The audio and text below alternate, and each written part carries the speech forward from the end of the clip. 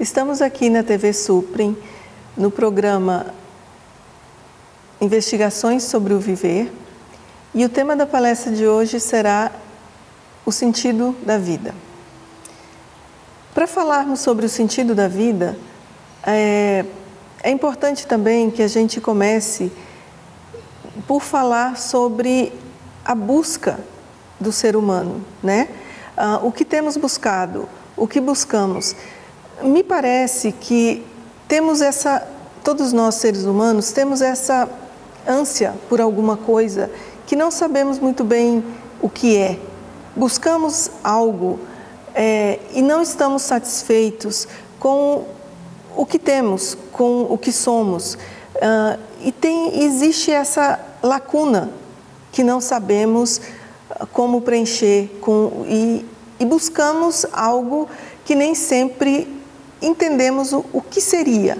Temos essa falta de alguma coisa que não entendemos o que realmente nos falta, o que é que gera, o que causa essa ânsia e essa necessidade de buscar alguma coisa. E com essa busca, essa constante busca, uh, nos fazemos essa pergunta: qual o sentido da vida, afinal? Por que estamos aqui? Viemos fazer alguma coisa específica? Temos algum, alguma missão, né? como algumas pessoas costumam uh, sentir que existe uma missão, que existe algo importante a se fazer. E, e na, na busca de se cumprir tal missão e na busca de se fazer o que se, uh, se imagina ser feito, o ser humano tem criado vários problemas para nós mesmos e para o planeta que nos acolhe. Essa busca por algo que não sabemos o que é faz com que tentamos encontrar fora um, um sentido, uma, uma, uma explicação. E achamos que existe alguma coisa que pode ser feita para trazer uma completude, para trazer uma perfeição. Só que essa perfeição que buscamos e esse estado de, de plenitude é buscado pela maioria das pessoas, pelo menos, né, pela maioria de nós, é buscado fora, é buscada no mundo, é buscado num, numa tentativa de, de consertar coisas, de é, arrumar a casa, tipo, arrumar o mundo, consertar o mundo, fazer com que o mundo seja mais justo, fazer com que o mundo seja mais uh, melhor para se viver. E, e imagina-se que essa seria então uma forma de viver adequadamente e uma forma de se buscar aquilo que se sente está faltando. A questão é que talvez nos falte perguntar uma, uma, fazer uma pergunta mais básica, né? Encarar esse fato de que, nos, que temos essa sensação de, de vazio, essa sensação de que nos falta algo, e olhar para isso e não tentar imaginar como preencher isso, como preencher esse vazio. Porque nessa busca de preencher esse vazio, ah, talvez a gente esteja fazendo o um movimento errado. Talvez a gente esteja exatamente fugindo do vazio. E quando se foge de alguma coisa, a gente já sabe que a gente não consegue resolver a questão. Uh, coisas simples da vida, uh, vamos pegar situações bem corriqueiras e bem cotidianas da vida. Quando a gente não quer resolver um problema, seja ele qual for, quando a gente tem alguma dificuldade em algum relacionamento e a gente não quer resolver aquilo porque vai ser doloroso, porque vai ser difícil, a gente vai adiando e a gente vai buscando soluções para aquilo, quando na verdade Talvez fosse mais simples encarar os fatos, olhar para a situação e entender a situação, o que nos levou aquilo, por que, por que nos sentimos daquela maneira e, e deixar que a própria compreensão do fato traga a cura. Mas nós evitamos essa compreensão, porque muitas vezes ela é dolorosa, ela não é uma solução, ah, muitas vezes não é o que queremos, né? não vai nos, nos colocar numa situação mais confortável. Então, a gente evita e a gente fica buscando coisas que nos deem a sensação de felicidade. Só que também a gente nunca é, pergunta se essa sensação de felicidade, se ela é uma coisa que é realmente tão importante como a gente pensa que ela é. Porque a cada sensação de felicidade que se tem, a gente tem problemas que vêm, que são gerados, muitas vezes exatamente por aquela sensação de felicidade. Porque é uma sensação que é passageira, e a gente valoriza demais essas coisas e essas sensações que são passageiras. Mas a gente também tenta evitar aquelas que a gente não gosta, as que não são prazerosas, as que não são assim desejadas por nós, né? Então, só que a gente esquece de uma coisa quando a gente faz isso, é que quando a gente evita uma situação desagradável, uma situação que a gente não gostaria de ter que enfrentar, a gente está, na verdade, negando a própria vida. A gente está, é, a gente não está vivendo plenamente. Porque viver plenamente é viver todas as coisas que surgem, sejam boas, sejam ruins, sejam agradáveis ou não. Então, assim, o viver pleno significa que eu tenho um olhar pleno sobre o total da vida e aprender a lidar com todas essas questões, as boas, as ruins, da mesma forma. Mas o ser humano tem essa tendência de procurar as coisas boas, de procurar as coisas agradáveis, as coisas prazerosas e evitar as coisas que não são prazerosas, que não são tão agradáveis, que não nos trazem essa sensação de felicidade. Então, quando a gente fala em um sentido da vida, muitas vezes a gente está perguntando como eu faço para ficar nesse estado de felicidade plena? Como eu faço para estar o tempo inteiro bem? E a, e a, gente acha que o sentido da vida, então, seria um estado onde não existem problemas, onde não existe aborrecimento, onde tudo é perfeito.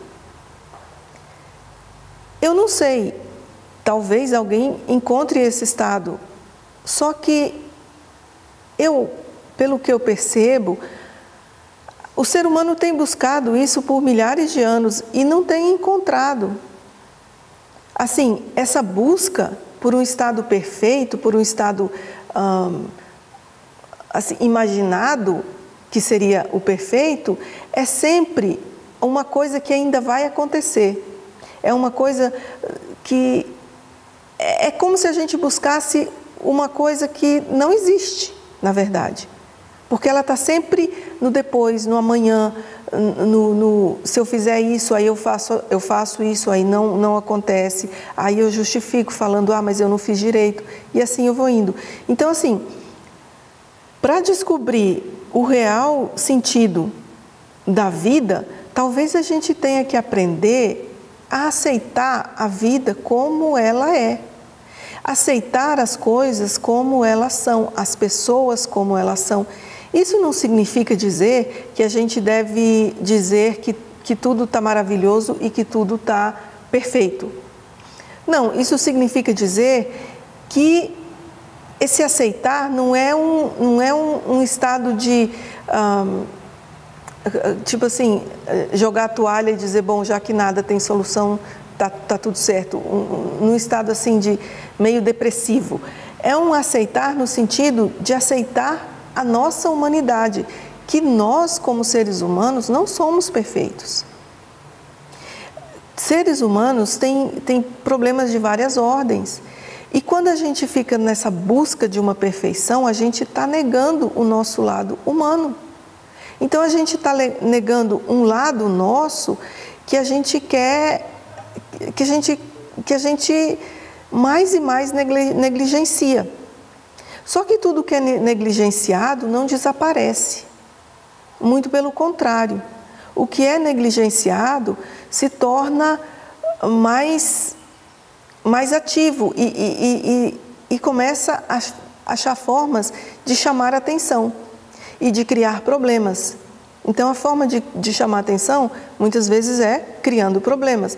Então, se a gente tem uh, uma raiva que a gente não quer lidar com ela e a gente simplesmente ignora ela e faz de conta que ela não existe, um dia ela vai explodir de uma forma eh, bem difícil de lidar com as consequências. Então, porque a gente negligenciou por tanto tempo, a única forma daquilo ser visto e, e, e é criando um grande problema, que aí a gente não tem como simplesmente não olhar. Então, assim, negligenciar as questões que não são agradáveis, as questões que não são prazerosas, não ajuda em nada. Então, esse estado de perfeição, esse estado de um, completa um, de completa vivência, de viver num estado pleno, talvez seja esse aceitar, esse uh, não é nem aceitar, talvez aceitar não seja nem a palavra, a palavra correta, mas esse uh, uh, abraçar todas as nossas limitações, não que a gente vá alimentar elas, mas que a gente vai ter um olhar amoroso sobre elas e entender que são questões porque somos humanos.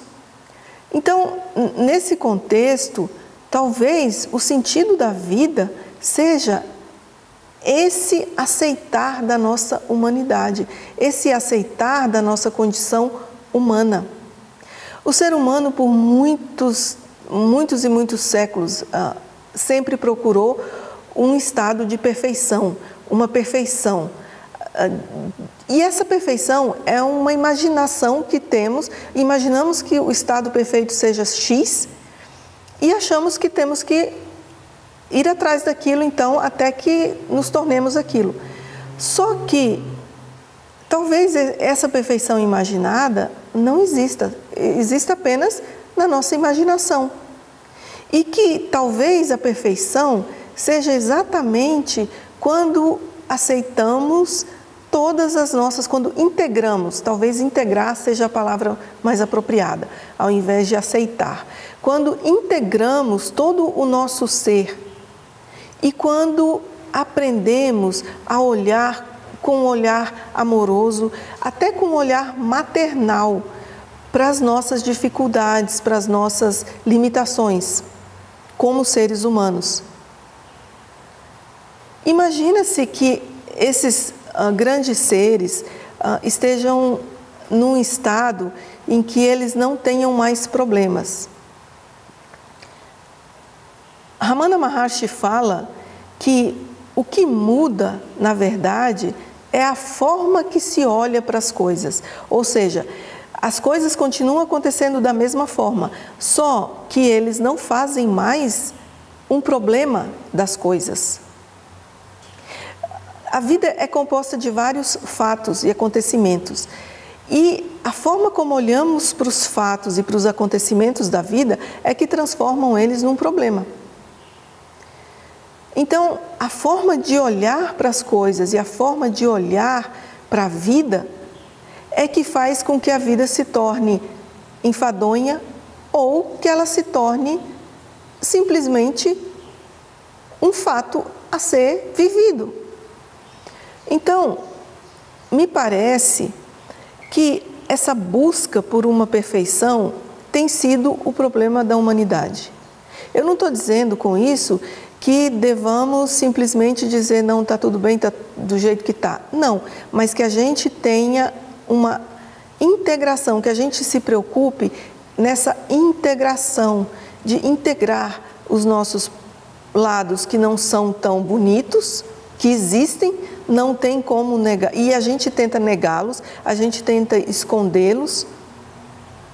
Não é simplesmente aceitar, ok, eu sou egoísta, eu sou invejoso, tudo bem. Não, é simplesmente enxergar isso, porque a gente nem sequer enxerga isso. A gente nega e a gente justifica todas as nossas atitudes, a gente, a, a gente justifica os nossos atos de uh, inveja, de uh, ingratidão, do que quer que seja, a gente justifica falando assim: bom, uh, mas também eu sou humano, mas também aquela situação não podia ter sido diferente, porque Fulano. Então, assim, a, no, a nossa preocupação está sempre em justificar os nossos atos por causa das circunstâncias ou por causa de pessoas. Mas será que se assumirmos a responsabilidade por aquilo que nos acontece de forma plena, entender que cada, cada fato, cada pessoa, cada coisa que acontece em nossa vida só pode acontecer porque nós abrimos a porta para que aquilo acontecesse? Que cada pessoa com quem nos encontramos, com quem interagimos, só entra na nossa vida e só nos encontra porque abrimos a porta para que aquilo acontecesse? Então, se encontramos com pessoas desonestas, ou que julgamos ser desonestas, né? E sofremos algum tipo de situação em que sentimos que fomos ah, prejudicados porque a pessoa era desonesta, será que se nós olharmos novamente para aquela situação e para aquela pessoa, nós não vamos achar em nós mesmos as razões para que aquilo tenha acontecido? Será que nós não vamos achar em nós mesmos as portas e as brechas e as janelas que abrimos com o nosso pensamento, com, nosso, com a nossa forma de agir e de pensar e que permitiu que aquela pessoa agisse daquela forma conosco? É muito simples colocar responsabilidade em situações, é muito simples colocar responsabilidade em pessoas. E isso é o que a maioria de nós, seres humanos, faz. Mas quando queremos realmente entender o sentido da vida, o sentido e a razão de estarmos aqui, será que não teríamos que começar a conhecer a nós mesmos, a conhecer os. e não só conhecer, como também ah, harmonizar todas essas questões em nós de uma forma consciente e responsável? Responsabilidade é uma coisa muito importante nessa jornada porque responsabilidade significa. É, eu, eu não gosto, eu particularmente não gosto muito dessa palavra responsabilidade no, no, na conotação que ela tem normalmente, que é uma, uma coisa imposta pela qual você é responsável.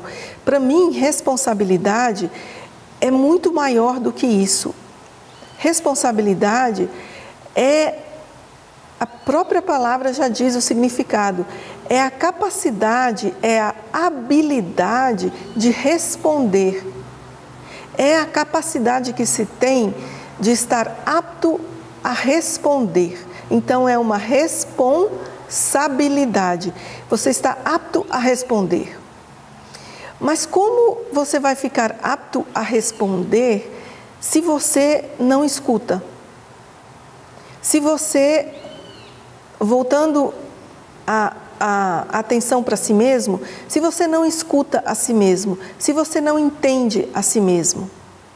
Então, a responsabilidade começa primeiramente conosco, começa primeiramente comigo mesmo. Para que eu tenha capacidade e para que eu esteja apto a responder aos outros, eu tenho que estar plenamente apto a responder a mim mesmo. Então, conhecer a mim mesmo, conhecer todos os subterfúgios que eu uso para fugir à minha responsabilidade, para fugir a minha a minha necessidade de olhar para mim mesmo, de olhar para as minhas atitudes e para os meus pensamentos. Porque assim, uh, existe hoje em dia uma ideia de que não se deve pensar. Isso, isso é completamente impossível. Ninguém consegue simplesmente parar o pensamento ah, quando quer e porque quer. O pensamento é, é, é ele não é, ele, ele, a gente não entende nem como ele surge, mas assim, o pensamento ele é um, é um, é, é o produto da mente. Então assim, e ele é desencadeado pela necessidade que a mente tem de explicar e justificar as coisas. E quando isso se volta uh, nesse sentido de autopreservação, né, é, a gente tem uma tendência, e a gente ficou bem esperto nisso, em formas estratégicas de responder e justificar as nossas, vamos dizer assim, incompetências em responder, né? Em responder a nós mesmos. Então, justifica-se e cria-se várias explicações para que a gente consiga aceitar e conviver com o que fazemos, com o que somos.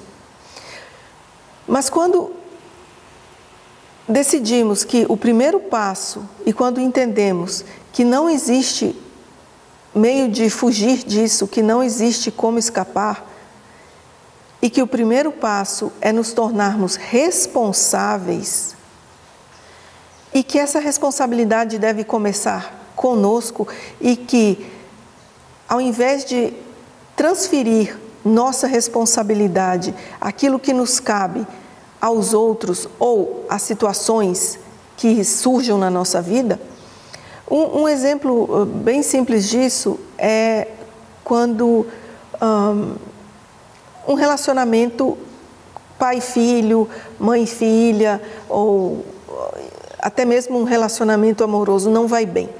A primeira a tendência é de culpar alguém. Né? E raramente a gente se volta para nós mesmos, para olhar, não no sentido de que agora eu vou me culpar de tudo que acontece, não é uma questão de culpar, é uma questão de aprender a olhar. Porque essa, essa necessidade de achar um culpado para tudo também vem dessa necessidade de fugir à responsabilidade. Porque a nossa mente, ela acredita que em certo e errado. Então, se tem alguma coisa errada, tem que ter um culpado para aquela questão errada. Então, que, que também a questão de certo e errado é uma criação da mente. Isso não significa que está tudo certo. Isso significa que as coisas têm que ser avaliadas a cada momento. E, e, que tem, e que não é uma questão de certo e errado, mas é uma questão do que é necessário, do que, do que, é, que cada situação requer. Então, do que é necessário e do que precisa ser feito mas não no sentido de e do que pode ser feito também. Então, é uma decisão complexa que a mente não gosta de pensar tanto assim e ela simplesmente acha um culpado e resolve a questão. Então, fala assim: Fulano é culpado, fez a coisa errada e por isso eu fui levado a fazer isso ou a fazer aquilo, enfim. Então, assim, quando é, é, é um, completo.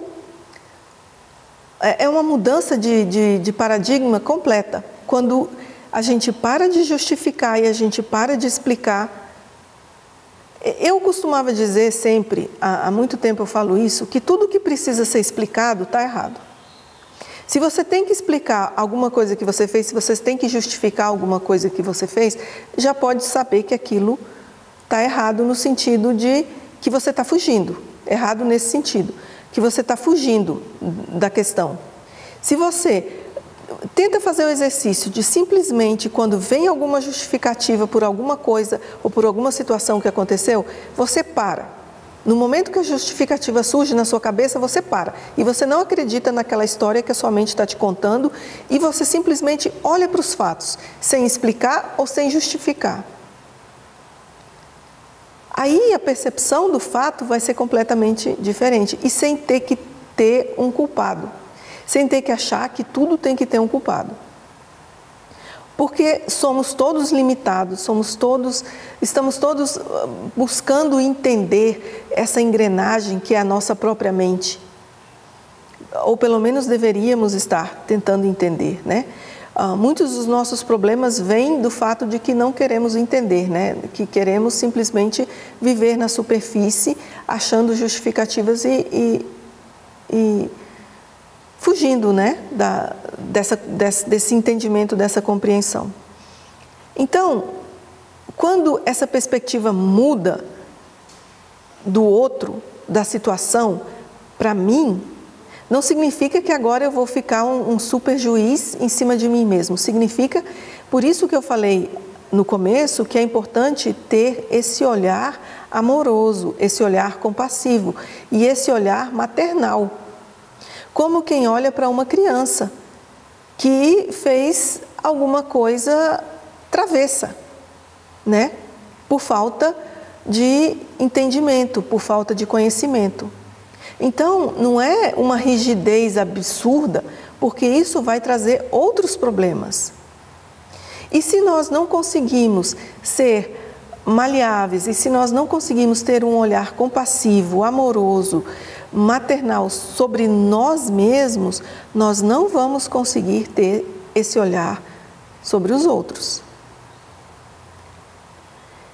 Porque existe um, um, uma ideia de que eu posso ser de qualquer jeito e agir completamente diferente daquilo que eu sou com as pessoas. Não é verdade.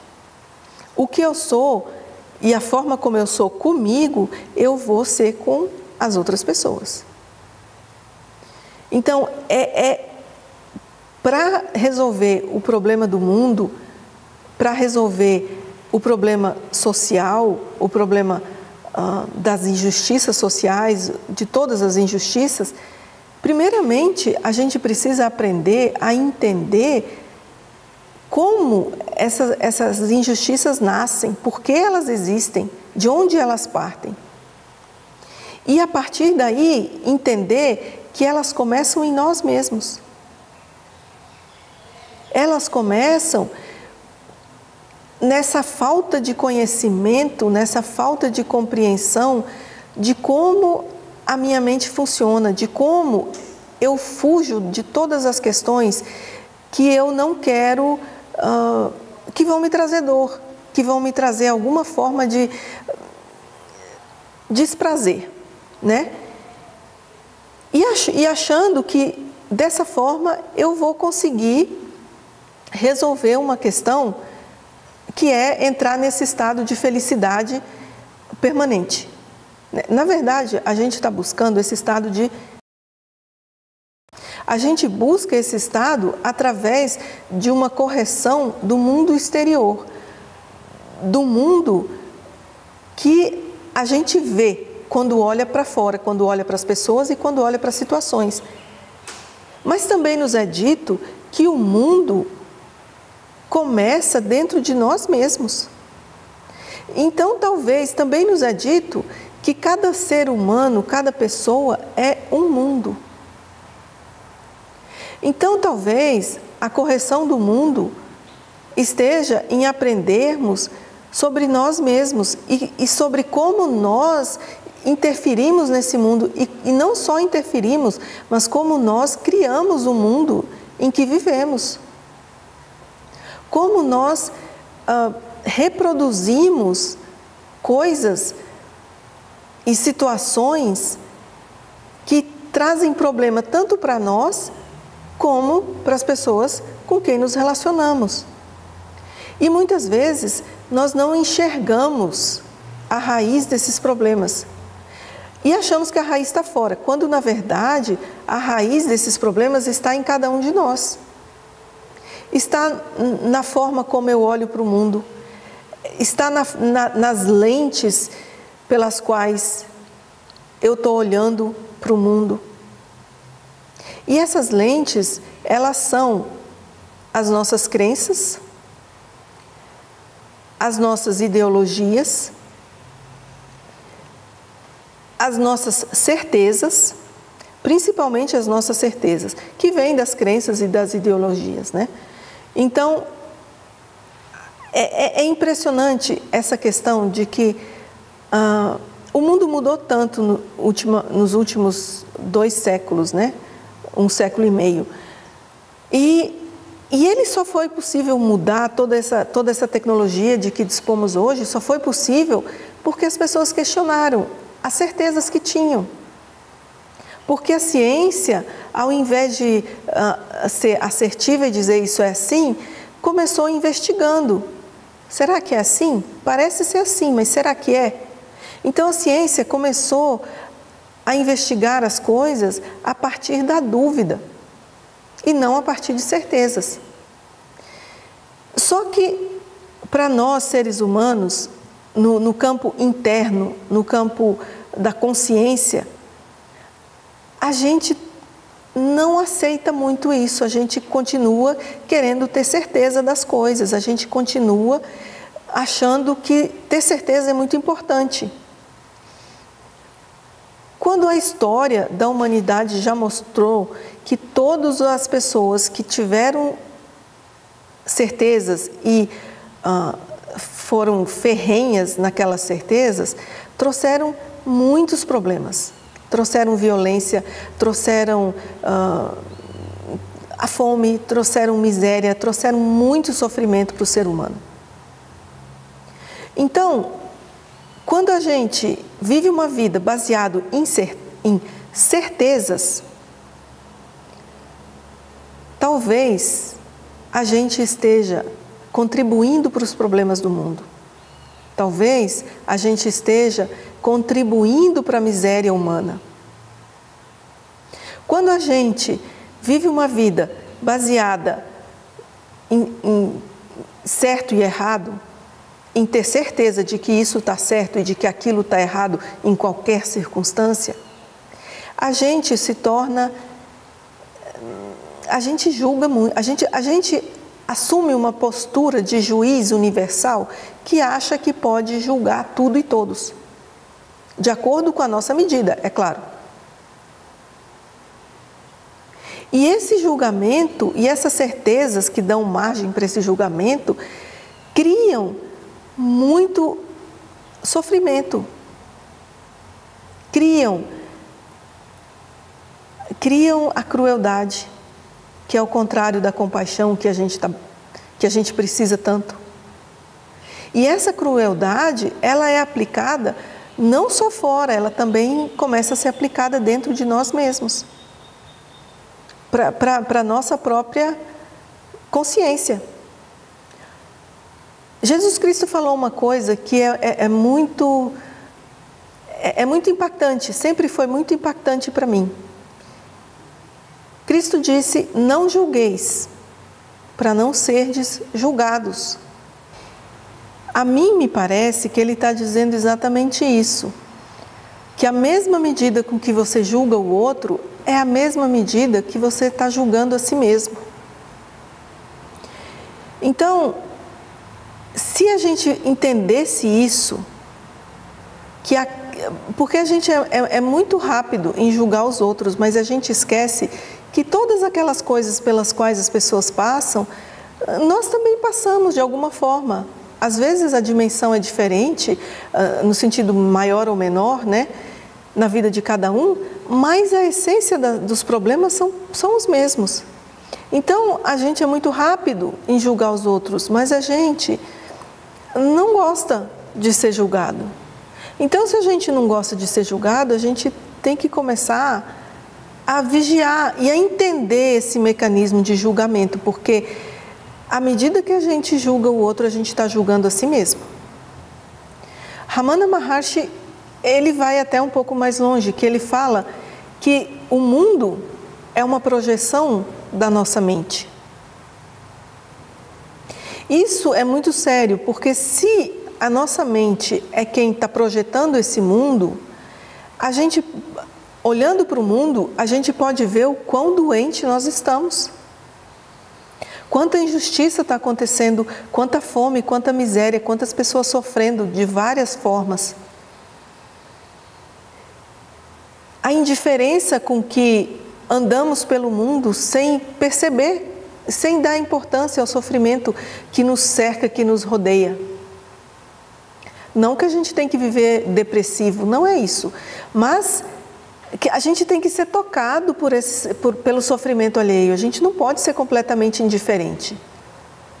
Porque quando o nosso coração está seco e a gente não consegue ser tocado por nada, pelo sofrimento de ninguém, só pelo nosso próprio, e aí o nosso próprio toma uma dimensão absurda e achamos que somos as pessoas que sofrem isso. E aí o nosso sofrimento se torna enorme.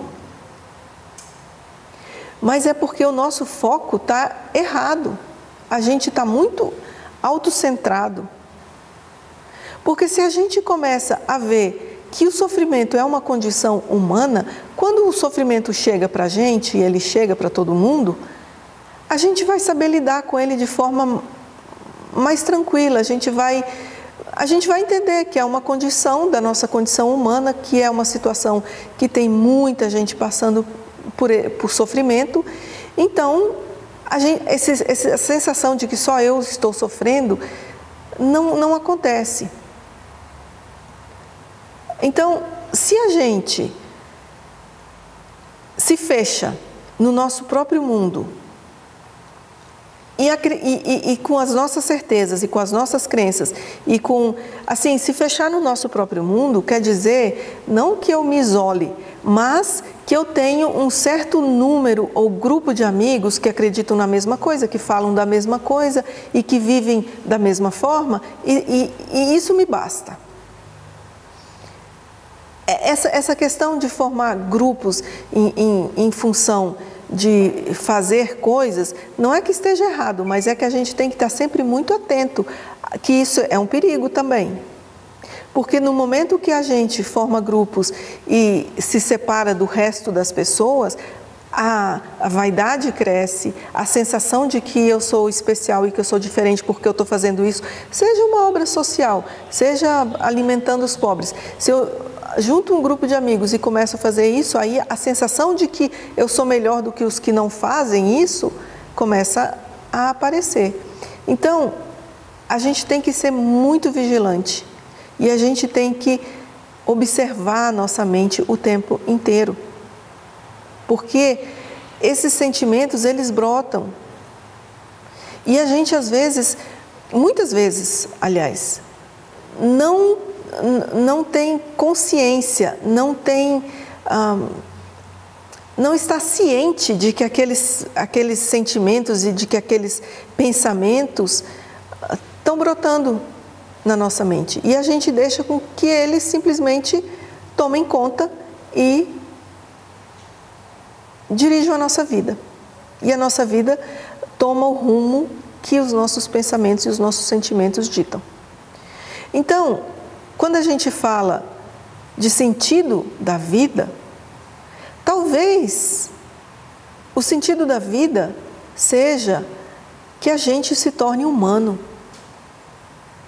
mas um humano de verdade. Um humano que está alerta e que está aberto ao sofrimento e à alegria. Um humano que tem uma visão compassiva e amorosa para com todos e também para com nós mesmos.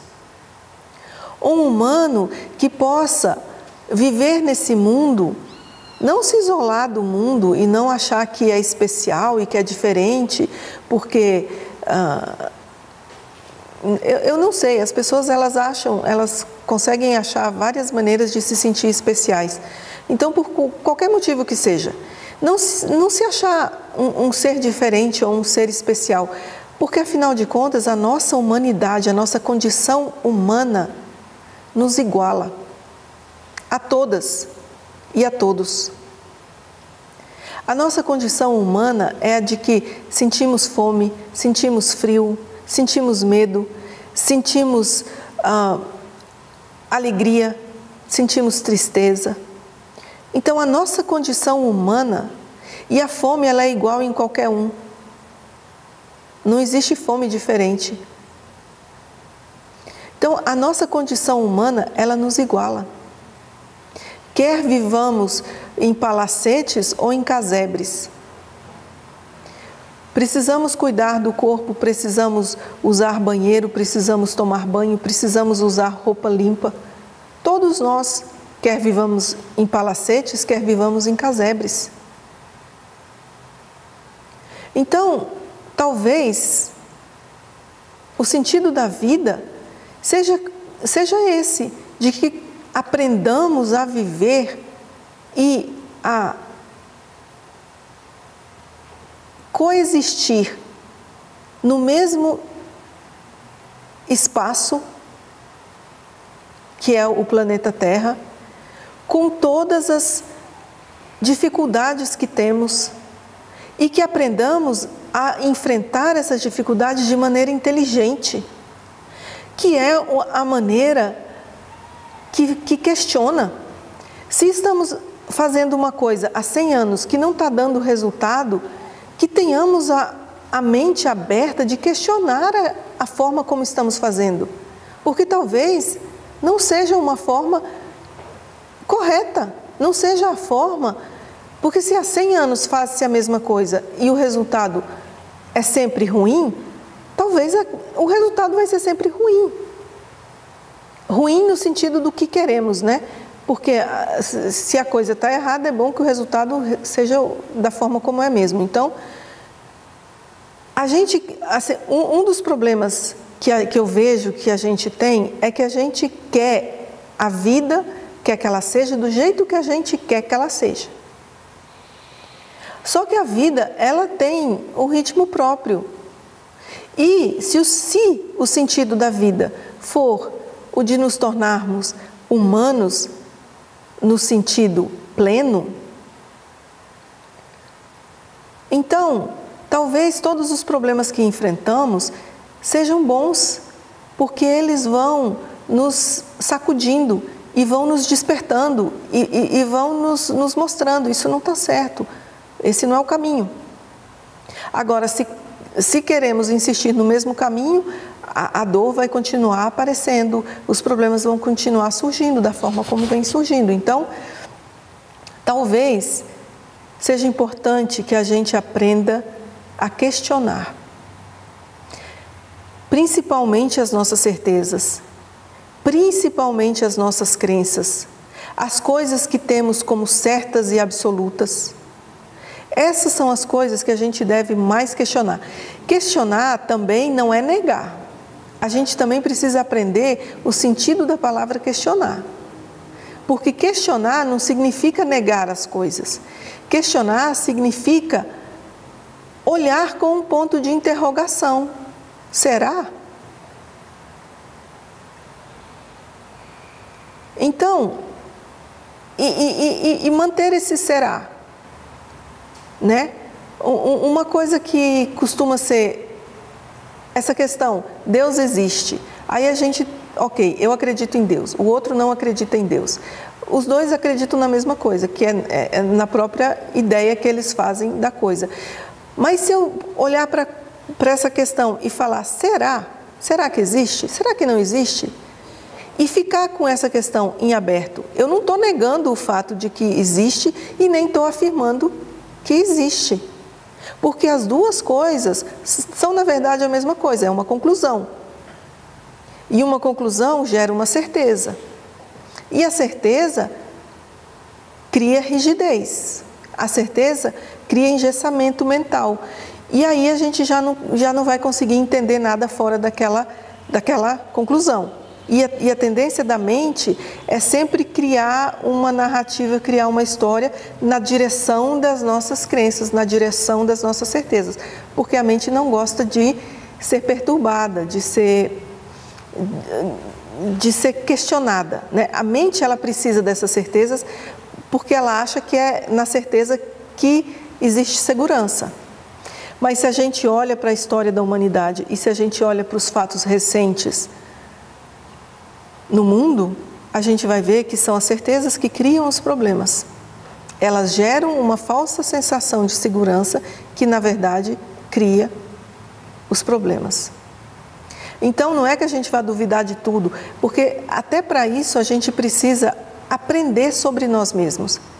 A gente precisa aprender um, um certo, uma certa ética de vida, uma, a, a gente precisa ter uma certa bondade em nosso ser, para poder olhar para as coisas de uma forma inteligente e não de uma forma ah,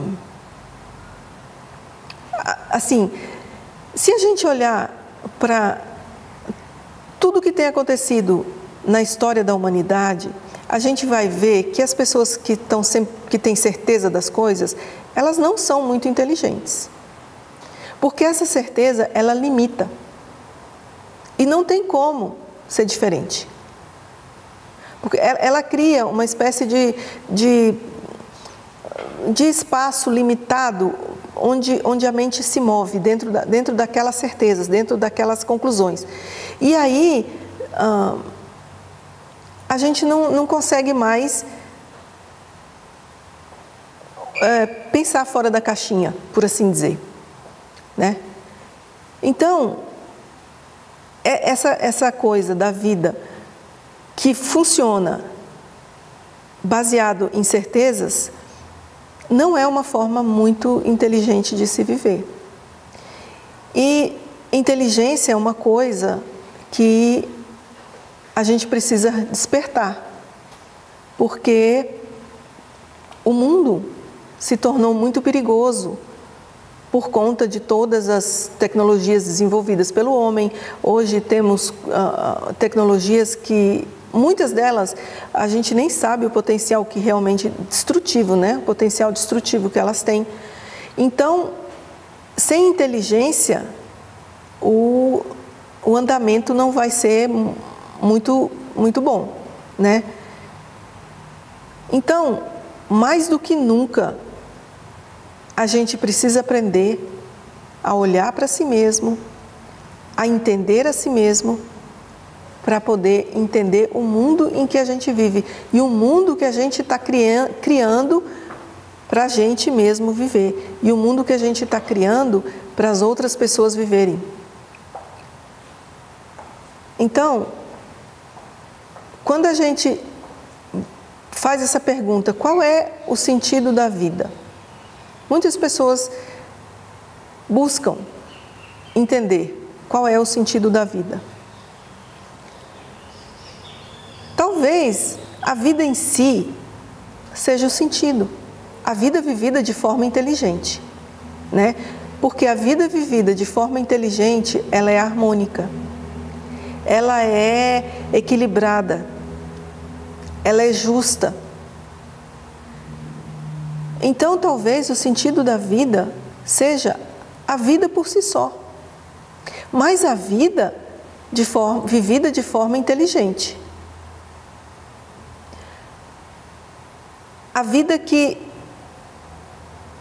se descortina na nossa frente todos os dias traz muitas oportunidades de aprendizado e muitas oportunidades de autopercepção.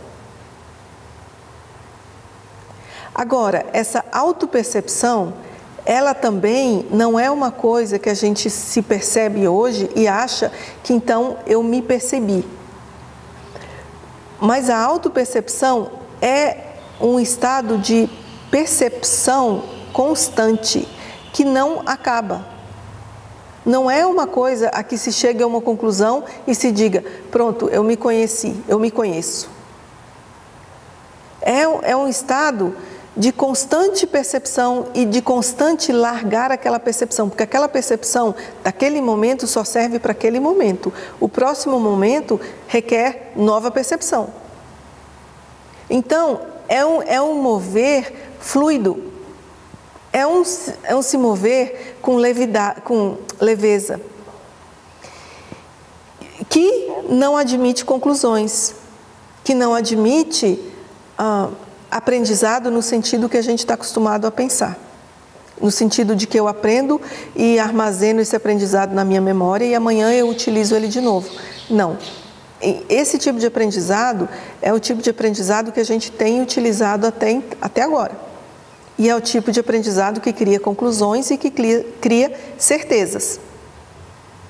Então, o novo, a, novo paradigma, um, um, uma nova forma de se olhar, requer esse aprendizado que é constante e que é fluido e que não deixa marcas na memória no sentido de, ah, eu sou, não sei, eu sou chata, por exemplo, né?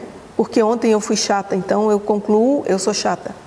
Não, ontem, naquele momento, eu fui chata, mas isso não quer dizer que eu tenha que ter isso como uma como uma certeza de que eu sou assim. Porque a cada momento é uma nova descoberta e a cada momento é um novo momento. Então, é uma, a forma inteligente de se viver é uma forma fluida. Não é uma forma que tem certezas, não é uma forma que tem crenças e que tem baseada, que é baseada em nesse aprendizado que é acumulativo, né? que vai criando um, um, um, banco de, de memória de informações que eu vou utilizando depois. Essa, qual, qual foi o problema? O que causou a maior parte dos nossos problemas é que a gente aplica a mesma forma de viver para as coisas cotidianas que a gente precisa fazer, como a gente tem uma certa rotina, então a gente acorda todo dia, faz a mesma coisa, lava o rosto, escova os dentes, toma café da manhã, faz exercício, essas coisas. Então, e aí a gente falou, bom, isso funciona aqui, como a gente é autoprojetado, quer dizer, a gente vive para fora, a nossa percepção, ela é focada no, no fora, a gente simplesmente aplicou essa mesma fórmula no mundo interno.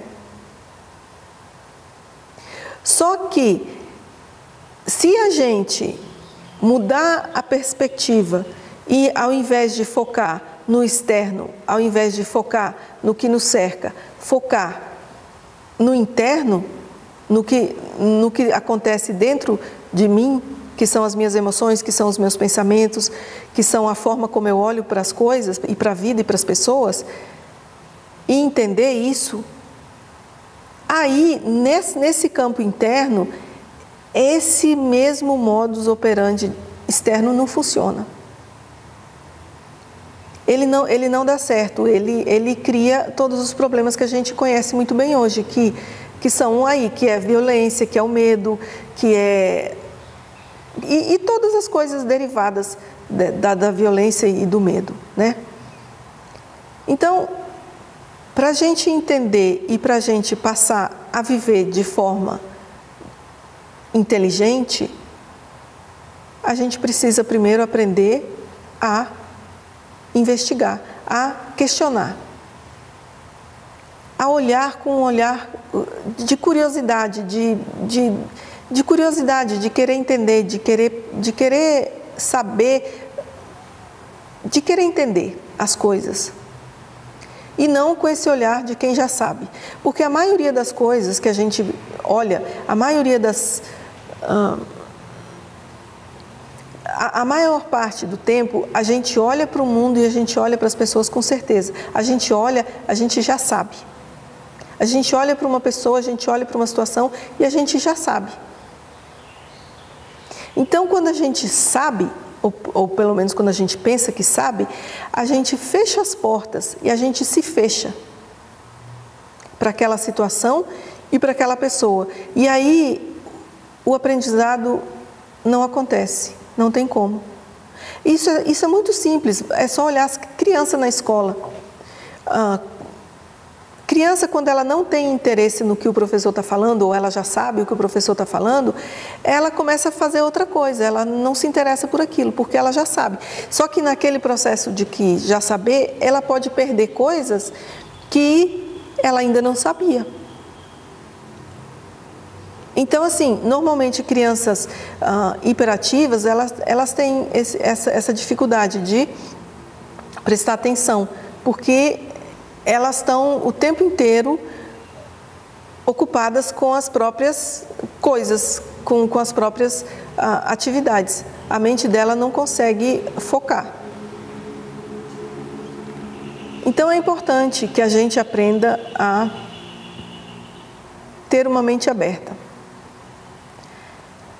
A mente aberta é outra, é outra coisa que levou muito tempo para eu entender o que significa.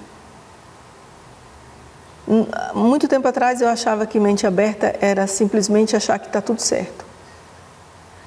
Demorou muito tempo para eu entender que a mente aberta significa a mente que não sabe, a mente que está pronta para aprender, a mente que está aberta ao aprender.